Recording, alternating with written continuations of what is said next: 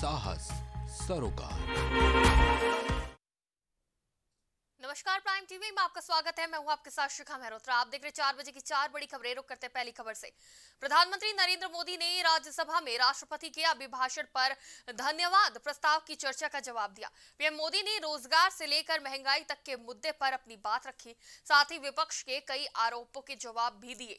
कांग्रेस पर निशाना साधते हुए परिवारवाद का पीएम ने मुद्दा भी उठाया। पीएम मोदी ने संसद में कहा कि अगर महात्मा गांधी की इच्छानुसार कांग्रेस ना होती तो क्या होता? पीएम मोदी ने कहा, अगर कांग्रेस ना होती तो लोकतंत्र परिवारवाद से मुक्त होता। अगर कांग्रेस ना होती तो भारत विदेशी चस्पे के बजाय स्वदेशी संकल्पों के रास्ते पर चलता। अगर कांग्रेस ना होती तो देश पर इमरजेंसी का कलंक ना होता। तो कई निशाना साधा और उन्होंने कहा कि दशकों तक करप्शन को संस्थागत न बनाकर रखा होता। जातिवाद और क्षेत्रवाद की खाई इतनी गहरी ना होती। अगर कांग्रेस ना होती तो सिखों का नरसंहार ना होता। सालों साल पंजाब आतंक की आग में न जलता, कश्मीर के पंडितों को कश्मीर छोड़ने की नौबत न आती। बेटियों को तंदूर में जलने की घटनाएँ न होती। देश के सामान्य आदमी को मूल सुविधाओं के लिए इतने साल इंतज़ार न करना पड़ता। तो पीएम मोदी ने कई मुद्दे उठाए, ऐसे मुद्दे उठाए जो कांग्रेस के काल में हुए, कांग्रेस के समय में हुए और इन सभी को उठा के उन्होंने कहा कि अगर कांग्रेस ना होती तो क्या होता? और इस खबर पर हमारे साथ ज़्यादा बातचीत के लिए संवाददाता विभांशु जुड़ चुके हैं। विभांशु, जिस तरह से आज पीएम मोदी ने कांग्रेस को घेरा है, इतनी बातें कही है। क्या कहेंगे? चुनावी समय है, इसलिए कांग्रेस को घेरा जा रहा है या कोई और वजह है? बात करें तो उत्तर प्रदेश समेत पाँच राज्यों में विधानसभा चुनाव है और इन्हीं सब चीज़ों को देखते हुए प्रधानमंत्री ने आज जो आज का अभिभाषण था, जो आज राष्ट्रपति के संबोधन के बाद जो उन्होंने धन्यवाद प्रस्ताव दिया उस, उसका जवाब देते हुए पीएम मोदी ने रोज़गार से लेकर महँगाई के मुद्दों पे बात रखी। साथ ही अगर देखें तो विपक्ष पे खासकर कांग्रेस पर उन्होंने जमकर निशाना साधा। और बताया कि कांग्रेस न होती तो परिवार परिवारवाद का मुद्दा नहीं उठाया जाता। और साथ ही साथ पीएम ने संसद में ये भी कहा कि महात्मा गांधी के इच्छा अनुसार कांग्रेस ना होती तो क्या होता? वही आपको बताना चाहेंगे कि उन्होंने बताया कि कांग्रेस ना होती तो लोकतंत्र का, जो लोकतंत्र की परिभाषा है, वो उससे मुक्त होता। साथ ही साथ अगर कांग्रेस ना होती तो भारत विदेशी चस्पे के बजाय स्वदेशी संकल्पों के रास्ते पे चलता। जी, सिखाओ। जी, बिल्कुल। बहुत बहुत शुक्रिया हमारे साथ जुड़ने के लिए तमाम जानकारी के लिए इस खबर पर हमारे संवाददाता विभांशु जुड़े थे। तो कई चीज़ों को लेकर आज प्रधानमंत्री ने कांग्रेस को घेरा है, कई सवाल उठाए हैं। रुक करते अगली खबर की तरफ़। उत्तर प्रदेश विधानसभा चुनाव के लिए बीजेपी ने अपना संकल्प पत्र जारी कर दिया है। संकल्प पत्र जारी करने के दौरान गृह मंत्री अमित शाह, यूपी के CM Yogi Adityanath, deputy CM Keshav Prasad Maurya, केंद्रीय मंत्री धर्मेंद्र प्रधान और अनुराग ठाकुर भी मौजूद थे। इस घोषणा पत्र के ज़रिए बीजेपी ने दलितों, ओबैसी महिलाओं, युवाओं और किसानों के तमाम वादे किए हैं। उत्तर प्रदेश विधानसभा चुनाव 2022 से पहले चरण जो प्रचार है, उसके आखिरी दिन मंगलवार को बीजेपी ने अपना घोषणा पत्र जारी किया, यानी जन कल्याण संकल्प पत्र जारी किया गया। बीजेपी नेता और केंद्रीय गृह मंत्री अमित शाह ने संकल्प पत्र जारी करते हुए तमाम लोक लुभावने वादे किए। साल में दो गैस सिलेंडर मुफ़्त देने का वादा किया गया तो कॉलेज जाने वाली हर छात्र को, छात्रा को स्कूटी देने की बात भी कही है। बीजेपी ने दलित और ओबीसी के साथ युवाओं, छात्रों और किसान महिलाओं को भी कई चीज़ों के लिए वादे किए हैं। मैनिफेस्टो में जगह दी गई है, कई लुभावने वादे किए गए, हालाँकि मुस्लिमों के लिए विशेष तौर पर कोई वादा नहीं किया गया है। और इस खबर में भी हमारे साथ संवाददाता विभांशु जुड़े हुए हैं। विभांशु, कई वादे और दावे किए जा रहे हैं। चुनावी समय है मैनिफेस्टो जारी कर दिया है बीजेपी ने। किस तरह से देखते बीजेपी के इस संकल्प पत्र को?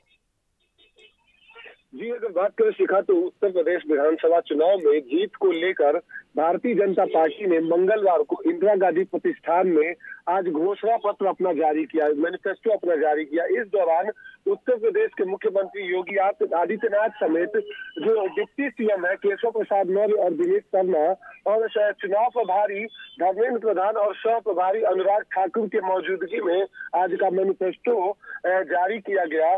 आपको बताना चाहेंगे कि ये, उसी कड़ी में जो संबोधन था उत्तर प्रदेश के प्रदेश अध्यक्ष स्वतंत्र देव सिंह का तो उसमें उन्होंने बताया कि पूरी निष्ठा से वादों को पूरा किया है और पूरा करेंगे। यूपी भाजपा के अध्यक्ष ने पूरी निष्ठा के साथ बताते हुए जनता से किए वादे को पूरा किया है। जो पिछली बार हमने वादे किए, उसको पूरा किया है। उन्होंने कहा कि आगे भी भाजपा इसी तरह जनता के हित के लिए काम करेगी। आपको बताना चाहेंगे कि बीजेपी ने जो संकल्प पत्र में वादे किए हैं, उसमें साठ साल से अधिक की महिलाओं के लिए जो सरकारी परिवहन है इसमें मुफ़्त उनके लिए सुविधा दी है। और साथ ही साथ 500 करोड़ की लागत से कृषि सिंचाई यंत्र योजना का भी शुभारंभ करने की बात कही गई है। और वही पच्चीस हज़ार करोड़ के Sardar Patel agriculture infrastructure infrastructure mission की भी शुरुआत करने की बात की गई है। आलू टमाटर प्याज के न्यूनतम मूल्य देने के लिए एक हज़ार करोड़ रुपए आवंटित करने की बात कही है। और वही अगर बात करें तो गरीब बेटियों की विवाह के लिए एक लाख की आर्थिक मदद की भी बात की गई है। और जैसे समाजवादी पार्टी और आम आदमी पार्टी के बिजली फ्री और 300 यूनिट बिजली फ्री और किसानों के लिए भी मुफ़्त बिजली का प्रावधान की बात कर रही थी। तो इसी कड़ी में भाजपा के भी मैनिफेस्टो में किसानों के लिए सिंचाई मुफ़्त का प्रावधान किया गया है। और एक करोड़ महिलाओं को एक लाख तक न्यूनतम दर पर लोन देने की भी बात की गई है। वही पिंक टॉयलेट के लिए एक हज़ार करोड़ गया है। दलित ओबीसी और साथ ही पिछड़े लोगों का भी ध्यान रखा गया है लेकिन कहीं ना कहीं मुस्लिमों के लिए कुछ लुभावने वादे नहीं है। आखिर इसके पीछे क्या वजह है? जी, अगर बात करें तो भारतीय जनता पार्टी ने अब तक 403 सौ 403 विधानसभा सीटों पे अब तक कोई मुसलमान उम्मीदवार नहीं उतारा है और उसी के साथ अपने मैनिफेस्टो में उनके लिए कोई ऐसी योजना नहीं लाई है, ना ही उनके फेडरेशन को या फिर उनके कोई बोर्ड को इस तरह की योजनाओं को बताई है कि उनके लिए हम ये विशेष पैकेज या ऐसा कुछ योजना लाएँगे। कहा विभांशु जिस तरह से भी कुछ देर पहले ही सपा का भी मैनिफेस्टो जारी हो गया है क्या कहेंगे दोनों में से किसके मैनिफेस्टो में ज़्यादा लुभावने वादे हैं? जी आपको बता दें कि अगर पिछली बार की बात की जाए भाजपा की तो उस भाजपा की तरफ़ से बताया गया था कि हम 24 लाख रोज़गार देंगे। और वही भाजपा की तरफ़ से बाद में बताया गया कि चार लाख रोज़गार हमने दिया है और वही आज समाजवादी पार्टी ने अपने आज के घोषणा पत्र में बताया है कि हम एक करोड़ रोज़गार देंगे और महिलाओं को नौकरी में तैतीस फ़ीसदी आरक्षण देने की बात कही है। और वही किसानों को मुफ़्त मुफ़्त बिजली और आपके पाँच साल में एक करोड़ नौकरियों का वादा किया है।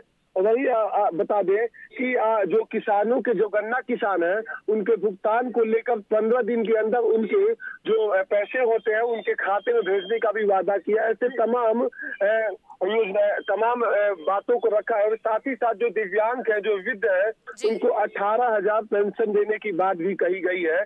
और बारहवीं पास जो छात्र है उनको लैपटॉप और जो मेधावी छात्रा है उनको स्कूटी देने की बात कही गई है समाजवादी पार्टी की तरफ़ से। विभाषु इस बार फ्री वाली राजनीति ज़्यादा देखने को मिल रही है। दिल्ली मॉडल सभी अपना रहे हैं।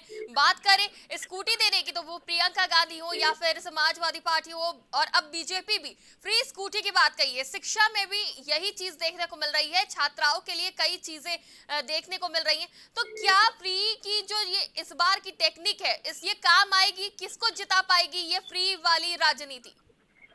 जी शिखा, अगर देखे तो ऐसे तमाम वीडियो सोशल मीडिया पर देखने को मिल रहे हैं।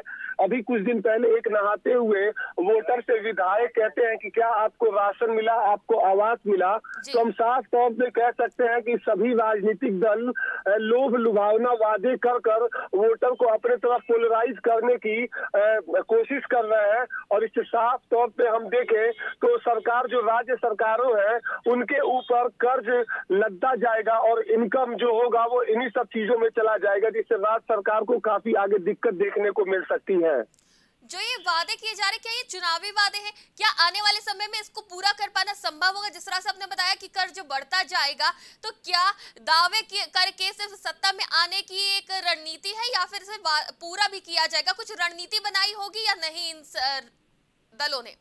जी अगर बात करें तो तमाम पार्टियाँ सत्ता में आई और बसपा की तरफ़ से कभी मैनिफेस्टो नहीं दिया जाता है। वहीं सपा की तरफ़ से भी पिछली बार मैनिफेस्टो दिया गया, कांग्रेस की तरफ़ से दिया गया, सत्ता में बीजेपी आई। उसने तमाम ऐसे योजनाओं और छात्र और शिक्षा, चिकित्सा तमाम ऐसे वादे किए, लेकिन ज़मीन पर धरातल से कितने उतरे, ये जनता जानती है।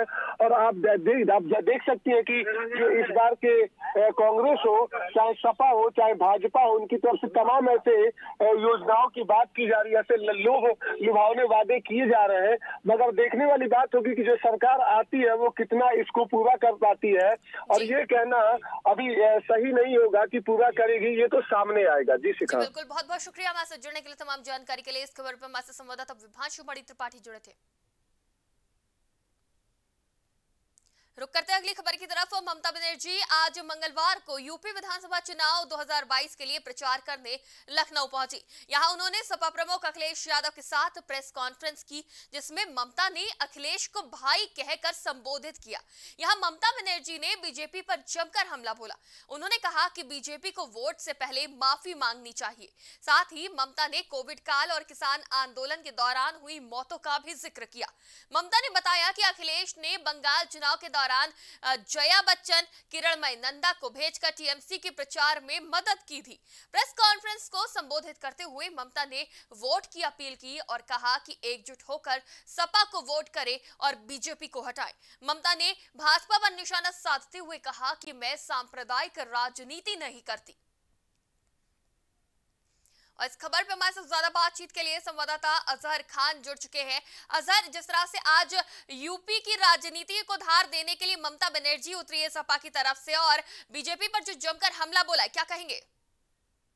जी, बिल्कुल शिखा, जिस तरीके से अब उत्तर प्रदेश विधानसभा चुनाव में अब बंगाल की मुख्यमंत्री ममता बनर्जी की भी एंट्री होने जा रही है और आपको बता दें, कल लगभग देर शाम ममता बनर्जी लखनऊ के चौधरी चौर सिंह एयरपोर्ट पर पहुँची और फिर उसके बाद आज सपा मुखिया अखिलेश यादव के साथ उन्होंने संयुक्त प्रेस वार्ता की, जिसमें भारतीय जनता पार्टी पर उन्होंने जमकर हमला बोला, साथ ही योगी आदित्यनाथ पर भी जमकर हमला बोला। इस दौरान उन्होंने तमाम तरह की बातें कही और विकास को लेकर और तमाम ऐसे मुद्दों को लेकर जिसमें सरकार विफल रही है, तमाम चीज़ों को लेकर सरकार को घेरा और जिस तरीके से किसान आंदोलन कर रहे थे लगभग ग्यारह महीने से, और उसके बाद लखीमपुर घटना का भी ममता बनर्जी ने ज़िक्र किया। और इसके अलावा एनआरसी में जितने लोग जिस तरीके से एनआरसी का जो मूवमेंट रहा मूवमेंट रहा, उसमें भी तमाम तरीके की चीज़ों को लेकर ममता बनर्जी ने ये साफ़ तौर से ये कहा कि जितने भी लोग उसमें मारे गए या जितने भी लोग उनमें मारे गए, उनको सरकारी नौकरी देने की बात भी ममता बनर्जी ने कही। और इसके अलावा तमाम चीज़ों को लेकर ममता बनर्जी ने समाजवादी भारतीय जनता पार्टी को घेरा और इसके अलावा अखिलेश यादव को भाई कहकर बुलाया और इस उत्तर प्रदेश की जनता से ये अपील भी की कि इस बार समाजवादी पार्टी को फुल बहुमत से जिताएँ। जी। अजहर जिस तरह से समाजवादी पार्टी ममता बनर्जी की साख को भुनाने में लगी है तो क्या इसका सीधा असर इस बार के चुनाव में देखने को मिलेगा? क्या ममता की अपील जनता मानेगी? क्या लग रहा है इस बार के चुनाव को देखते हुए? बिल्कुल शिखा जिस तरीके से देखा जाए कि अभी पहले चरण के जो चुनाव हैं, वो 10 तारीख से होने हैं। उससे ठीक दो दिन पहले ममता बनर्जी का उत्तर प्रदेश आना और सपा मुखिया अखिलेश यादव के साथ संयुक्त प्रेस वार्ता करना, कहीं ना कहीं इसका प्रभाव ज़रूर पड़ेगा। और ममता बनर्जी ने प्रेस कॉन्फ्रेंस के दौरान ये भी कहा है कि पश्चिम में चुनाव होने वाले हैं, दो दिन बचे हैं, पश्चिम वाले फैसला कर दें, उसका प्रभाव आने वाले जो चरणों में चुनाव होंगे, उस पर भी पड़ेगा। तो कहीं ना कहीं पश्चिमी उत्तर प्रदेश में अब दो दिन में चुनाव होने हैं और उससे पहले ममता बनर्जी के इस तरह का बयान, कहीं ना कहीं समाजवादी पार्टी को इससे फ़ायदा ज़रूर पहुंचेगा। और इसके अलावा पश्चिम बंगाल के जो लोग हैं, जो उत्तर प्रदेश में रहते हैं, जैसा कि ममता बनर्जी ने कहा कि उत्तर प्रदेश में पश्चिम बंगाल के काफ़ी लोग रहते हैं और उनसे भी साफ़ तौर से और तमाम समुदायों से ये निवेदन किया ममता बनर्जी ने कि इस बार समाजवादी पार्टी को वोट दिया जाए, चाहे वो ब्राह्मण समाज हो, चाहे वो अल्पसंख्यक समाज हो या दलित हो, या तमाम तरह के जो भी समुदाय उत्तर प्रदेश में है, उनको साफ़ तौर से ये कहा कि सब मिलकर अखिलेश यादव को वोट दें और भारी मतों से विजय बनाए। तो कहीं ना कहीं इसका फ़ायदा समाजवादी पार्टी को ज़रूर पहुंचेगा आगामी चुनाव को और ठीक जिस तरीके से शिखा अभी दो दिनों के बाद पश्चिमी उत्तर प्रदेश में चुनाव होने और उससे पहले ये प्रेस कॉन्फ्रेंस का जो प्रभाव है ये दो दिनों के बाद पश्चिमी उत्तर प्रदेश में जिस तरीके से चुनाव है इसका प्रभाव काफ़ी देखने को मिलेगा और इसके बाद जो बाकी चरणों में चुनाव होने और ममता बनर्जी ने साफ़ तौर से ये भी कहा कि जिस तरीके से गोवा में भी चुनाव है और हमारी पार्टी वहाँ चुनाव भी लड़ रही है लेकिन माँ मैं वहाँ प्रचार के लिए नहीं पहुँची। मैं उत्तर प्रदेश प्रचार के लिए पहुँची हूँ। और आपको बताते चले बंगाल विधानसभा चुनाव के दौरान अखिलेश यादव ने पूरा समर्थन दिया था टीएमसी को और इसके अलावा जया बच्चन भी वहाँ पे पहुँची थी और उसके अलावा कई समाजवादी पार्टी कार्यकर्ता भी पहुँचे थे पश्चिम बंगाल उनकी और चुनावी कैंपेनिंग में साथ भी दिया था। तो कहीं ना कहीं उसी के उसी का कर्ज उतारने आज ममता बनर्जी राजधानी लखनऊ पहुँची है और तमाम तरह की बातें कही है और तमाम तरीके से भारतीय जनता पार्टी को घेरा है और सत्ता पक्षी पार्टी पर हमलावर जी। जी बिल्कुल। बहुत बहुत शुक्रिया हमारे जुड़ने के लिए तमाम जानकारी के लिए। इस खबर पर हमारे संवाददाता अजहर खान जुड़े थे। तो संयुक्त प्रेस वार्ता की है और भाई के, के संबोधित किया आज अखिलेश को। रुक करते हैं अगली खबर की तरफ़। एक और उत्तर प्रदेश की योगी सरकार भ्रष्टाचार पर कड़ा रुख करने का दावा कर रही है तो वहीं उनके कुछ अधिकारी ही भ्रष्टाचार विरोधी अभियान को पलीता लगाते हुए नज़र आ रहे हैं। जहाँ हरदोई ज़िले में कोथामा ब्लॉक के धरौली गाँव में भ्रष्टाचार का एक अजब निर्माण देखने को मिला, जहाँ मुख्य मार्ग को जोड़ने वाली गाँव के भीतर एक ईट के खड़ंजे को घटिया सामग्री से निर्माण किया जा रहा है। तस्वीरें देख सकते हैं आप, किस तरह से घटिया ईट देखने को मिल रही है। खुद पलीता लगाते अधिकारी ही नज़र आ रहे हैं। हरदोई से ये खबर सामने आ रही है। भ्रष्टाचार देखने को मिल रहा है, जहाँ ज़ीरो टॉलरेंस की बात करती है सरकार तो वहीं कुछ अधिकारी ही पलीता लगाते नज़र आ रहे सरकार की योजनाओं पे। एक और उत्तर प्रदेश की योगी सरकार भ्रष्टाचार पर लगाम लगाने की पूरी कोशिश कर रही है। तो वहीं उनके कुछ अधिकारी भ्रष्टाचार करते डर नहीं रहे हैं। हरदोई ज़िले के कोथावा ब्लॉक की तस्वीरें हैं धरोली गाँव से। ये भ्रष्टाचार का मामला सामने आया है, जहाँ पे निर्माण देखने को मिल रहा है। घटिया सामग्री का उपयोग किया जा रहा है निर्माण कार्य में।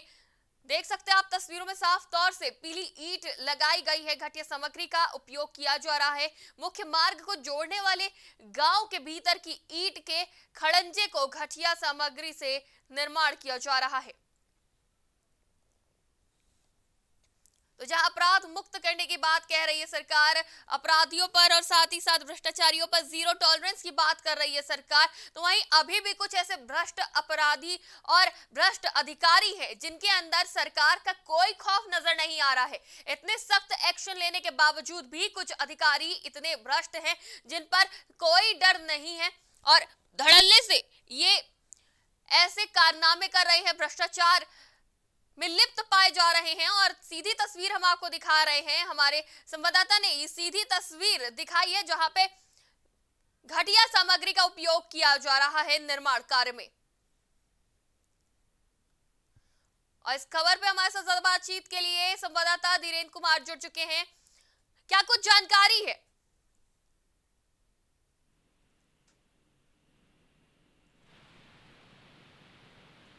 वीरेंद्र, जिस तरह से ये घटिया सामग्री का उपयोग किया जा रहा है और ये तस्वीरें भी निकल कर सामने आई है, क्या कहेंगे कि कब से ये भ्रष्टाचार चल रहा है ज़िले में? शिखा जी मैं प्राइम प्राइम प्राइम टीवी हमेशा भ्रष्टाचार के खिलाफ अभियान चलाता रहा है और हरदोई ज़िले में जब से मैंने कमान संभाली है प्राइम टीवी की, तब से मैं लगातार जहाँ जहाँ भ्रष्टाचार हुआ, उनको मैं प्रकाशित भी कर रहा हूँ। अभी कुछ ही महीनों पहले मैंने भ्रष्टाचार की भेंट चढ़ा था हमारा सामुदायिक केंद्र और बारात घर उसकी प्रमुखता से खबर हमने दिखाई थी और उसकी डीपीआरओ के द्वारा जाँच जाँच का आदेश भी किया गया था। उसके बावजूद भी यहाँ ब्लॉक स्तर तक जाके सिमट जाता उसके बाद में कोई भी कार्रवाई नहीं होती है। अभी अभी करीब दस पंद्रह दिन पहले निर्माण हुआ था का निर्माण का निर्माण हुआ जो कि आपने देखा होगा हमने कुछ विजुअल भी टीवी स्क्रीन पर दिख रही होंगी, उसमें आप देख सकते हो टोटली पीले ईटे से नालियों का निर्माण हुआ है। अगर मैंने ईटा नाली का जो हटाया, तुरंत हट गया। उसमें अगर लेब द्वारा चेक किया जाए तो उसमें दस परसेंट सीमेंट की मात्रा पाई जाएगी। जी वीरेन जिस तरह से घटिया सामान का उपयोग किया जाता है, सड़कें बनाने में, नालियाँ बनाने में, और बारिश होते ही इनके असली रूप निकल के सामने आ जाता है। ज़ीरो टॉलरेंस की बात करती है सरकार, उसके बाद भी इन भ्रष्ट अधिकारियों में कोई डर नहीं है सरकार का। आखिर वजह क्या है? क्या सरकार एक्शन नहीं लेती है अधिकारियों पे, या फिर इनको खौफ नहीं है सरकार का? मैम, सबसे बड़ी बात तो यह है की जितने ऊपर उच्च अधिकारी बैठे हुए हैं, जो पैसा आता है केंद्र सरकार से लेकर राज्य सरकार जो पैसा आता है और और छोटे छोटे ब्लॉकों में पैसा जो आता है उसका बंदर बाट होता है।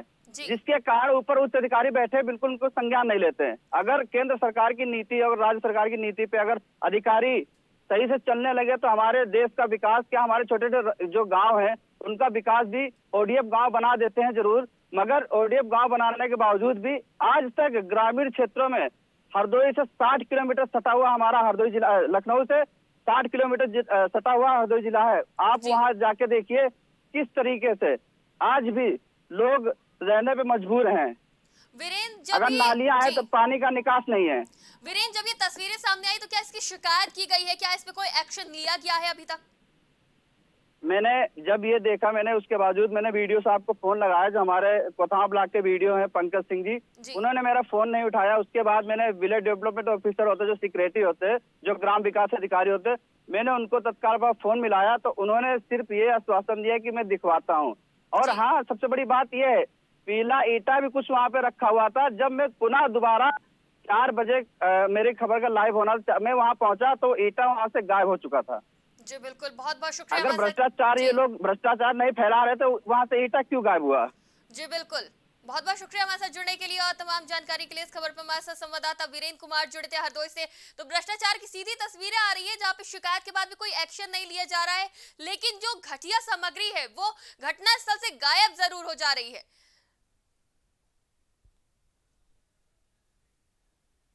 चार बजे की चार बड़ी खबरों में फ़िलहाल इतना ही। तमाम खबरों के लिए देखते रहिए प्राइम टीवी